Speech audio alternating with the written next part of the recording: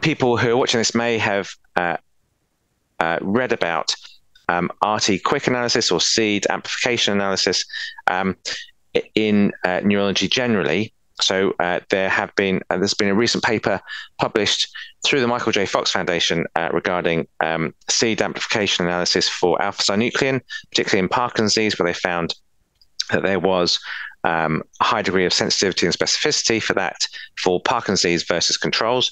Um, there is some uh, uh, movement in RT-QuIC or seed amplification analysis in tauopathies, which I think would be really useful um, because it would enable us to have a biomarker if that was effective.